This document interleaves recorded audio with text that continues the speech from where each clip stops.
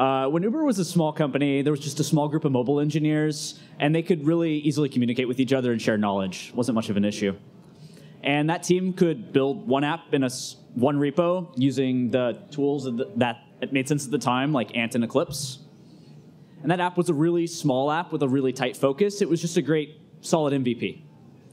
And as that team grew quickly with the business, going from one Android team to multiple teams, including a platform team with multiple uh, vertical teams built on top of that, the team thought it was important to address the scale of that growth. So they standardized around an MVC architecture and they used modern tooling for the time. These components were very well composed and they allowed for new engineers to develop against the solid principles. And over time, one app became multiple apps across different repos. And common code was extracted to create a library that both of the apps could use as a dependency. And that common code was modularized into multiple core library repos that were consumed as versioned dependencies. And with new contributors and a good foundation, they could scale and quickly launch product offerings. And all of that organic growth became massive, with literally hundreds of mobile engineers contributing to a small number of applications. New pain points emerged regularly. Tribal knowledge fell short, communication broke down, and the organization slowed to a crawl. Many more controllers were added to the architecture. And this caused bottlenecks to emerge where some became bloated with scoped objects in the graph. They would be coupled to more downstream dependencies, creating a large number of unmaintainable classes. And the iteration process slowed to a crawl, requiring updates of downstream dependencies, multiple sequential CI jobs, and then updates to multiple top level apps. Developer productivity took a large hit, and architectural silos emerged throughout the company. And the product choices continued to follow this organic growth model, essentially creating a kitchen sink of products for the end user with little focus on usability. The number of products in the bottom sheet became a joke for many in the industry. And at this point in 2016, we knew that this sort of growth couldn't be allowed to happen unchecked and that scale had to be planned for. And at this crossroads in 2016, we decided to rewrite and redesign the Rider app at the same time. This would create a product that could be built on for years to come. And this talk today is going to cover how we took a step back to approach this opinionated scaling and the tools and processes that we've used and open sourced that will help you prepare to scale an app without over engineering it. So today I want to talk about a few major areas of scale that we've made headway against. First, we'll discuss our project structure and build needs. And then we'll talk about RIBS, our architecture solution and the backbone of our modern apps. And I'll finally discuss some of the libraries and tools that we've used to facilitate faster mobile development. This will in no way be an exhaustive list, or I'd have to be here all day. Instead, I'm going to cover them at a high level, and then at the end, I'll link to further resources so that you can dive in on your own. Be thoughtful about what your own scaling needs are here and what you need to prep for. Don't over engineer. You may have noticed in my first slides that we more or less started in a monorepo, or at least a single repo, and then we split out into a multi repo structure. Like many other companies at this scale of mold development, we eventually considered the trade offs of a monorepo versus multiple repos. Many of the developer productivity issues that we were facing could be identified as working across multiple repos. And the three major pain points that we were feeling were issues with transitive dependencies, with updates being regu- uh, required in multiple repos, and duplication of effort. The emergence of multiple types of architectures and conflicts among different projects as teams worked in more isolation. And long build times, as the build system was inefficient at parsing and building a submodularized codebase. To demonstrate a problem in a multi-repo world, let's assume we have an app with a chain of transitive dependencies. If an API breaking chain is made in a downstream dependency, we will need to make it in each library up the chain, with a commit, waiting for a CI build, and deploying to Maven or Artifactory before moving on to the next one in the chain. Clearly, this is inefficient, and it assumes the best case scenario where it is properly updated. More common is the scenario where we have two build scripts for an app and a library that the app uses. As you'll start to notice, we declare a number of fundamental libraries like storage and networking with certain versions. And immediately you see transitive conflicts through libraries that they are pulling in. Gradle will try to reserve, by default, Gradle will try to resolve uh, conflicts in versioning by using the latest. So we can't guarantee what that behavior is going to be at runtime uh, if the downstream didn't meet what was expected. So these pain points drove our decision to move from a series of multiple repos to one large monorepo per platform. This new project layout gives us, gives us the ability to update across multiple modules in one fell swoop and increase developer productivity. For example, here we'd be a similar example to the mini repo example I gave a moment ago. But here we guarantee that all of our downstream libraries are pointing to the same version of a module. In addition to the project structure, to maximize gains for our developers, our developer experience team invested heavily in converting our build system to be primarily driven by Gradle to Buck. While Gradle has made tremendous gains in tons of performance with modularized code bases, at our scale of a, over a thousand modules, Buck still gives us better performance and fine tuning. If you're not familiar with Buck, Buck was built by Facebook and it allows a similar architecture to Bazel, uh, Google's monorepo build system. Its build architecture is based on cacheable outputs. And Buck encourages many small modules that are highly parallelizable. It'll use all the cores on your CPU. I know I've been listening to streaming music and had it completely stutter. because it's so parallelizable, it can cache the outputs of the small modules. It's very fast, and it use and it can use advanced features like network caching as well to make it even faster. Buck also has pretty good IntelliJ integration to keep a productive workflow, including concepts like building, deploying, running tests, and using unloaded modules for a large project by generating the IML files automatically. Buck is more focused than Gradle, though, making it possible to attain greater speeds under certain scenarios, but making it less flexible overall. It's also notoriously more obnoxious to configure the build scripts. Because of this, I say Buck is like rocket skates. You'll go really fast, but you don't want to change direction or fall down. To address the hard to configure scripts, and lack of features like dependency management and Buck, uh, let me tell you about our open source project called OKBuck. OKBuck is a Gradle plugin that you can add to uh, your Gradle scripts following the standard pattern. And then you can execute a Gradle task that will generate a Buck wrapper object. This will configure your project and create Buck config scripts per module, eliminating, eliminating the need to write nasty configs yourself. Running the Buck Wrapper, Buck Wrapper also has multiple advantages. It downloads, installs, and updates Buck to the latest version for you automatically. It has minimal overhead to decide when to run by using a, a daemon that's watching the files. Uh, it handles the task gracefully uh, when OK Buck uh, needs to stop or restart the daemon. And the speed of Buck is in a hypermodularized code base is given to you using this while you still maintain the, the simplicity and the flexibility that Gradle provides you for things like dependency management. Another great feature when using Buck build system is a tool called exopackage. Now, it's used for development builds. Exopackage constructs a shell application where each module's DEX file can be hot swapped out. This allows for much smaller changes to, be, to be deployed to the device, uh, similar to Instant Run, but it, it works consistently. Here on the first run, uh, the APK builder will construct the entire shell and deliver a full install. And then on subsequent compiles, it will only send the changed DEX files. With larger application like the Uber app, this may mean the difference in 30 seconds of an installation time. The last helpful build tool I want to cover solves a problem that I'm sure all of you have experienced at some point, but as you get more developers contributing to your code base, master breaks more frequently. People step on each other's toes, merge conflicts happen in, bet- in between the time when a CI verification job may have signaled it as, uh, as okay to merge.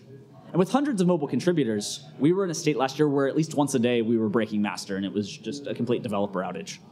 Developers would git pull, rebase their change, only to see it start breaking right away. And they aren't immediately sure if it's their, fi- their feature that's broken or something that they just pulled in. So productivity would plummet. So we introduced a tool called Submit Queue. Um, this isn't a new concept. Uh, it's a tool that validates the diff that it'll emerge successfully uh, after verification and landing has been done.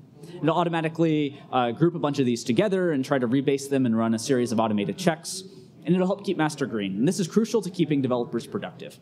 This technique has been implemented by numerous open source communities. A great example of one that's fully open sourced right now is the Kubernetes project. Uh, with, our with our project structure defined, compiling and sailing smoothly, it's time to move on to how we are actually building the app.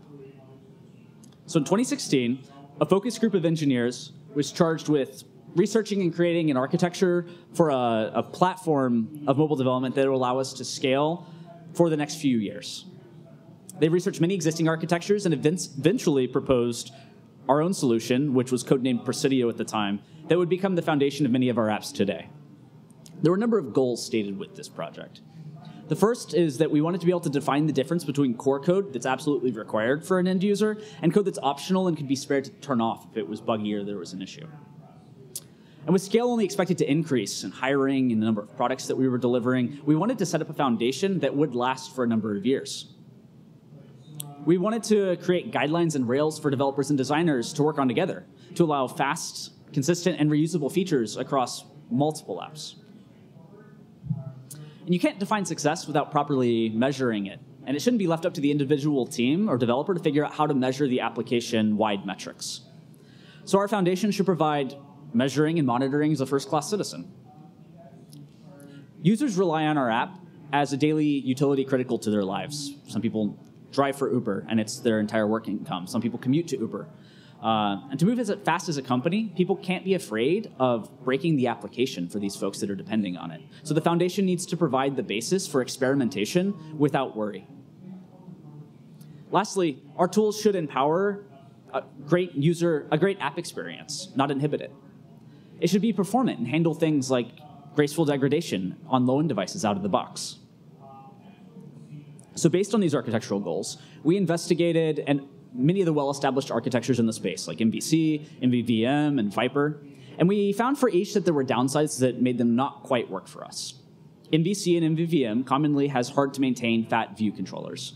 Our old rider app was built on MVC, and a request class that started as 300 lines of code quickly reached thousands of lines of code and became unmaintainable. The code base became fragile, testing was difficult, and updates slowed down. We liked a lot of things about Viper, but uh, you know, it included much more explicit separation of concerns and easier testability. But if we were used to pure implementation of Viper, uh, it would couple the application state to the view tree, and it would leak business logic through the presenter. So based on those principles and the inspiration from Viper, we created an open source to cross-platform architecture pattern and framework called RIBS. It's implemented natively on Android and iOS, but the domain language and the concepts are shared between iOS and Android, so developers can work together for better collaboration and design. A RIB unit is defined by a builder, which creates the other components of the RIB, an interactor to manage business logic, and a router to help with routing between these RIBs. And since we wanted the application state to be tied to the business logic as opposed to the view tree logic, RIBs encompasses an optional view and presenter, to manage the data model translations and layout animations and that sort of thing.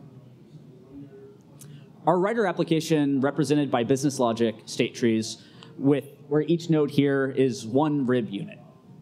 Each one of these will only be instantiated, attached, and active when it's needed, based on the user's workflow. Let's walk through this with an active rib tree uh, while the user's requesting a ride. Initially, only the ribs related to the home screen will be active in memory alive. And as the user moves the car through the car request flow, confirming their ride, the home ribs are detached and a confirmation rib is attached. Followed by a refinement choice where the user can refine the location to be picked up. Maybe they're at a venue and need a specific door to be picked up. Finally, all the pre-trip related ribs are detached and an on-trip branch is created and attached. Communication between ribs was designed to satisfy the open-close principle. For communication downwards, we rely heavily on RX. A stream is placed on the DI graph by a parent rib, and then an emission is made on our stream that the child subscribed to. For communication upwards, the ribs would define an, the child rib would define an interface that the parent implements. Then the child would execute against that method. With the backbone of our application defined, I now want to walk you through some of the tooling that we use both to support ribs as well as to generally empower better mobile development at scale to assist developers with ribs by reducing the boilerplate required for them when they're creating them, we also released an IntelliJ plugin that lives in the same repository on GitHub. This will auto-generate all the required classes and boilerplate needed to wire up the components. When we first did this, it's, it's using Dagger under the hood for your builder. It's generating uh, you know, these components, and as you attach the, the ribs, you're getting parent components and child components, and you're managing this. But one of the bigger complaints that we got from our hundreds of mobile developers was that, uh, and we've heard it from similar peers at other big companies like Square and Dropbox and Airbnb is that Dagger has a high learning curve, and it's too complex for a large code base with a lot of deeply nested scopes, and granular scopes especially. Tasks like wiring up those dependencies from the parent down to the children, when you can't use subcomponents because they won't scale and it has to build the entire DI graph, uh, the boilerplate of just wiring up the nested components to themselves, or debugging when a dependency-related build failure was like was missing, are all common complaints we've heard. So we built Motif to solve this. Currently, it's open sourced as a pre-release, and it's being developed in the open. Motif is a code generator that sits on top of Dagger. It's an abstraction on Dagger. And it provides a full interop with the underlying DI graph. So it gives you a lot of flexibility in moving back and forth between Motif and Dagger. And we found that it's a much simpler subset of APIs that in some architectures are much more well suited to understandability while maintaining the full flexibility of Dagger if it's needed. So let me walk you through an example of what Motif is doing. Here, I've defined a very basic scope using the Motif scope annotation on an interface that will serve as a container for the objects that can be created by the scope. We can then explicitly declare a scoped interface that will generate the appropriate bindings in Dagger. Then we annotate a factory class with the Motif objects annotation to provide our dependencies. And we explicitly declare which of these is exposed to our children. And that's all you need for writing a basic top-level scope. Now in our child scope, we're able to use the database dependency provided by the parent. This project isn't designed to replace Dagger, but it works well when the architecture is suited to it. And we also released an IDE integration uh, via a plugin to IntelliJ that allows you to explore your DI graph and make, it makes debugging it simpler. There are a lot more features to check out in this. Um, and like I said, it's not a replacement for Dagger, but it does simplify some use cases. And when you have these deep nested scopes, uh, a deep tree of them, then it, it is a pretty good option. One of the most important pieces of functionality that was built into the new rider and driver app architecture was the ability for us to distinguish between core code and optional code backed by a plugin system that we can enable so that developers have safe rails to build on and that we can turn off functionality that's inhibiting users. We recently open sourced a metadata generation tool called Crumb. It's the backbone of this sort of functionality. Crumb enables you to generate metadata in downstream dependencies that act as providers for information. And then upstream parents can consume those in the annotation processor. And then we combine all that in a tool like Java Poet or Kotlin Poet to generate code based on this metadata. In this diagram, taken from the example in our public repo, you can see how the plugin system is here for collecting dictionary translations. Implementations as plugins are defined as libraries that could be managed across compilation through CodeGen to be collected in the parent app at the end. In Crumb's repo, you can see this full example um, if you're trying to grok what this is doing. But in our applications, we built a much more complex version of this. Um, and it powers an entire A-B testing framework and plugin system that uh, connects to our backend service to enable feature switching on these things. This allows the rollout of a new feature behind a plugin. So in the event of a crash or an outage, we can disable that entire feature remotely. Here's your typical plugin. It contains an identifier that can be referenced against a copy of enabled experiments, the information to determine if it's applicable for the dependencies you provide, and the ability to create the underlying plugin. We then provide a plugin point class that lists all the plugins that adhere to a specific interface for that common dependency. Finally, we're able to utilize the plugin point to request a specific plugin and act against its API. In this version, I've added A-B testing, a generic A-B testing framework as the parameter required to construct this plugin point.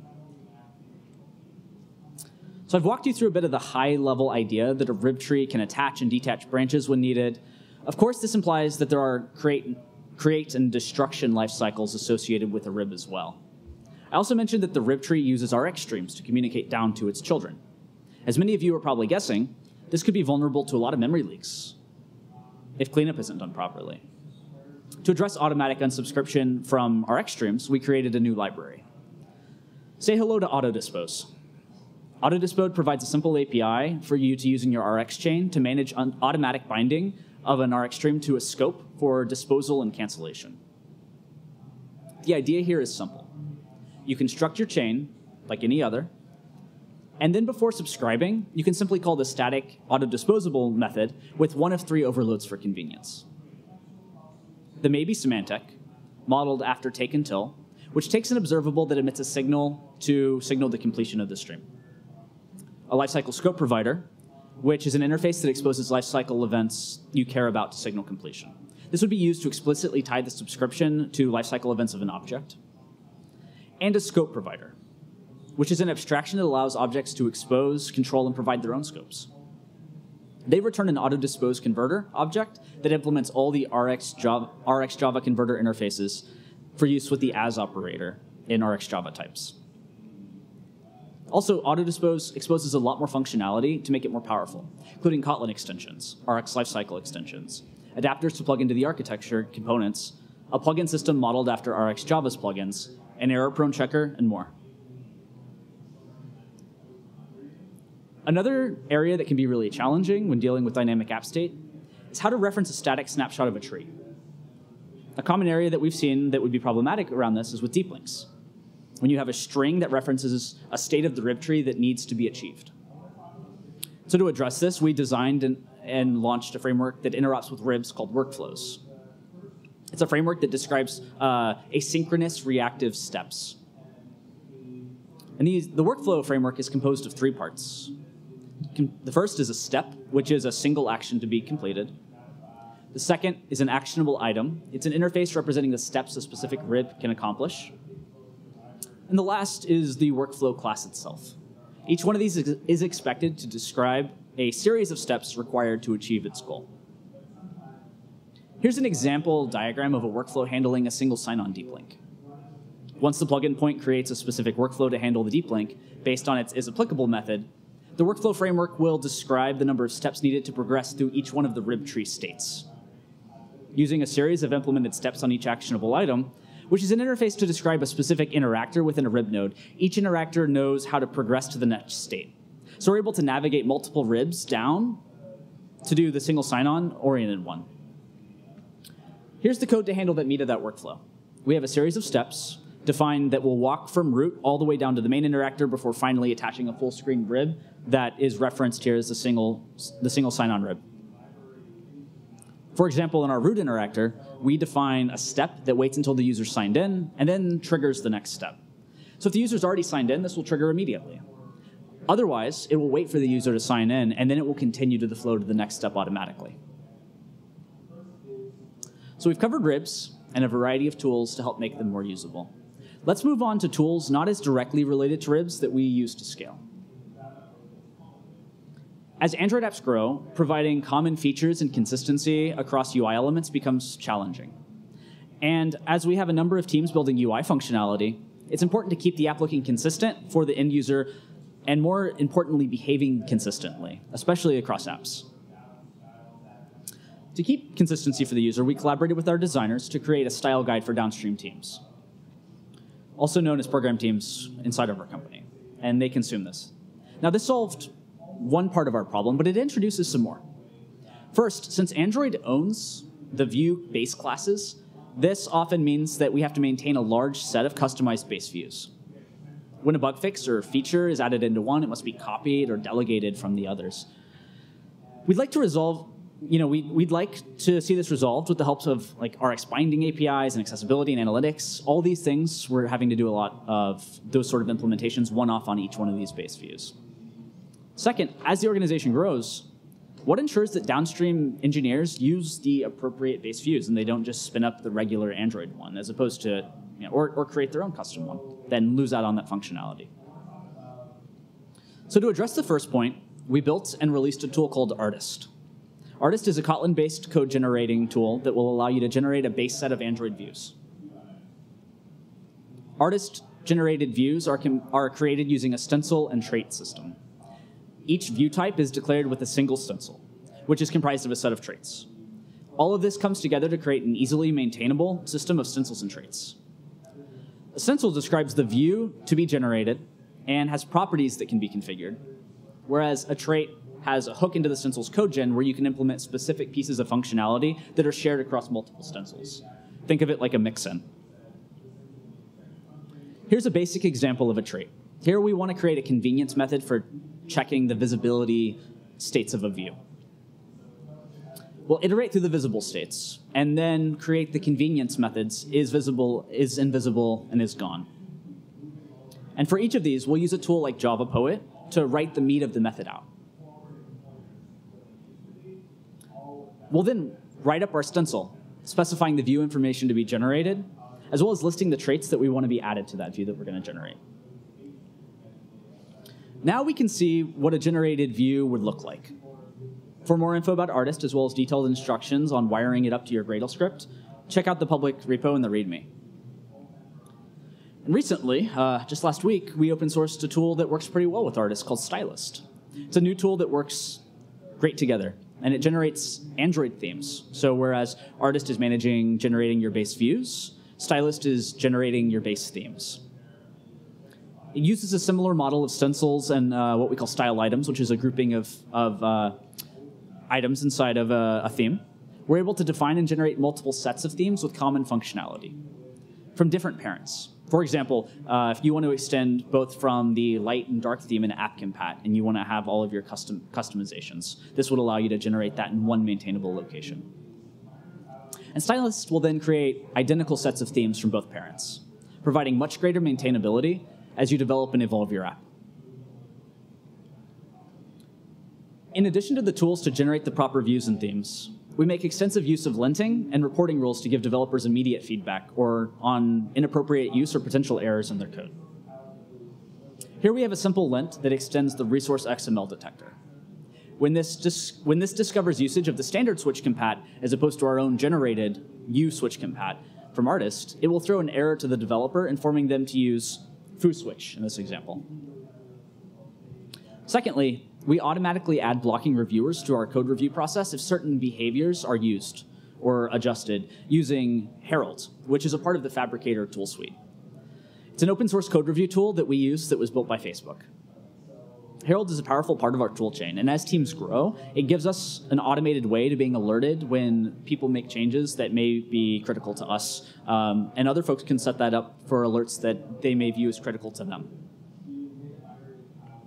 In addition to the errors I mentioned, there are also a slew of others that will impact software projects. The larger the project goes, grows, the more likely it is to be affected by common and avoidable errors. And one tool that we use on our mobile projects is ErrorProne. It's a fast compiler plugin built by Google that will fail at build time with common errors. And it has an easy to write checker plugin system. For example, in this piece of code, we're injecting our object graph after we've called super.onCreate. This can cause con configuration change bugs and issues with reattached fragments that the system handles. So error-prone would halt the execution at build time and give you a compile error so to let you know about the error so that you could resolve it. And error-prone makes it easy to write the new checkers for error types. When we looked at the benefits of Kotlin and Swift, one of the obvious wins around that was how it handles nullability as a first class, how it throws it in your face at compile time. And so using error-prone as the base, we wrote and open sourced a tool, a tool called Nullaway. And this helps solve that billion dollar mistake at compile time. It's fast, it can run on every build of your app, and it has little overhead to use. With a quick example, we have a method that takes X and then it prints it out. And in this case, we're sending null. By default, null away assumes all unannotated, all unannotated parameters are non-null. So at compile time, null away would alert us to this issue and stop. And we can fix the issue by adding an annotation. However, null away would still fail again on the printing usage unless we added a null check as well, similar to Kotlin, uh, prior to us using X. At Uber, we combine error-prone with another validation tool that we've created called Rave, uh, Runtime Annotation Validation Engine. Rave uses the annotations already present in your data model to generate validators on dynamic data to assure, ensure that it adheres to the contract that you expect at runtime. First, we would want to create a validator factory. Here, the sample, sample, sample factory generated validator is generated once a model references the sample factory class using, using the at validated annotation. Let's assume we have a model that's being hydrated from JSON on a network request to indicate it was uh, a match was made or not. We're defining a Rave factory class to generate the validator with. We then reference the factory we created, and we're being specific that the match variable is non-null, and that it must be one of the two statuses that we defined here. Now, when we indicate to Rave to validate this model, it'll use the validator to throw an exception if something is wrong. Now, this would be easy to put into a retrofit adapter to efficiently validate models on deserialization. While Rave is powerful, and we use it when we have dynamic data, I would highly recommend taking a different approach altogether. And uh, for your networking models and your API requests when it's possible. And that's using a tool like Protobuf or Thrift to have the same generated model that lives both on the client and on the server to guarantee the states and have more efficient network traffic using a binary protocol. These tools typically allow you to define language agnostic spec and then generate class files for various code bases. For most of our main models and services now, we've done this. We primarily generate everything using a stack built on top of Thrifty, which is Microsoft's mobile-focused Thrift compiler. This Thrifty takes a similar approach to Square's Wire for protobuf, and then it generates a much smaller number of classes from the spec for more efficient uses on mobile. Lastly, as I said, this talk isn't a deep dive into these tools today, but it should be a starting point for you to think about opinionated scaling of your app. And here's a list of all the open source projects that we covered today. We're looking for more contributors, and we're looking for feedback. So please get on there and get involved, try them out, tell us what you think, tell us where there's issues, send PRs. And many of my colleagues have done great deep dives into some of these topics. I'd recommend that you follow up by watching some of these later if you're interested in understanding some of the architecture specific stuff that we've done. And of course, stay tuned for more open source projects coming later in the year. We're working on a bunch of great stuff. Thanks for attending today. I hope these provide some pointers for you to think about scaling. If this sort of work interests you, we're hiring uh, both in New York and in San Francisco. I'll be around to take questions after the talk um, here, and then we have a booth out there, and feel free to come grab us and talk. We're here to talk about these cool projects. Thanks.